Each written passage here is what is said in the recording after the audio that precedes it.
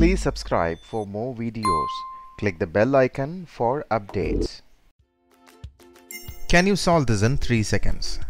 62 into 74 is equal to how much? 89 into 94 is equal to how much? Well, the answer is yes if you know this trick. Let's see the trick now. Step 1. Product of unit digits of both numbers. Step 2. Cross multiplication of both numbers and add them. Step 3. Product of last digits of both the numbers. Let's see how we are going to solve this problem in 3 seconds. 62 into 74. Step 1. Product of unit digit of both numbers. That is 2 into 4 equals to 8.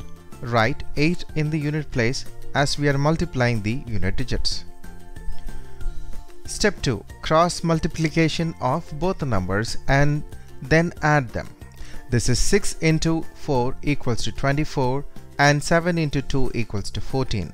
By adding 24 and 14, we got 38.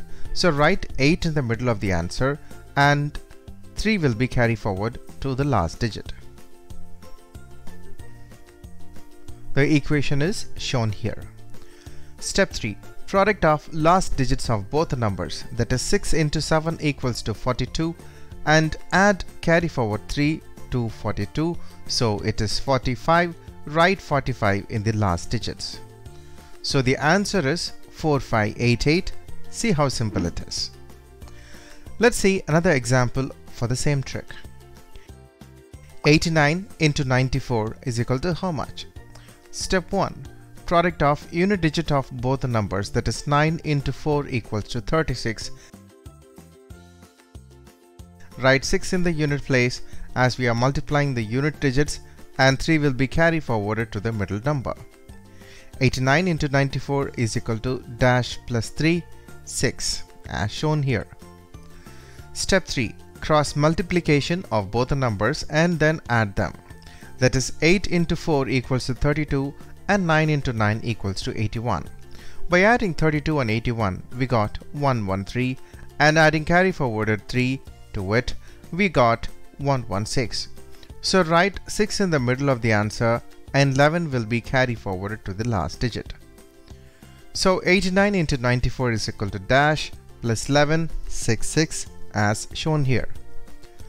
The last step, step 3 product of last digits of both the numbers that is 8 into 9 equals to 72 and add carry forwarded 11 to the 72. So it's 83, write 83 in the last digits. Therefore, the answer is 8366. See how simple it is. If you understand the trick, try solving the below problems and comment us the answers. 1. 98 into 51 is equal to how much? 2. 62 into 74 is equal to how much? 3. 74 into 39 is equal to how much?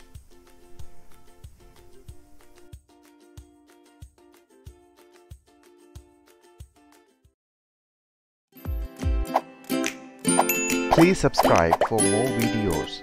Click the bell icon for updates.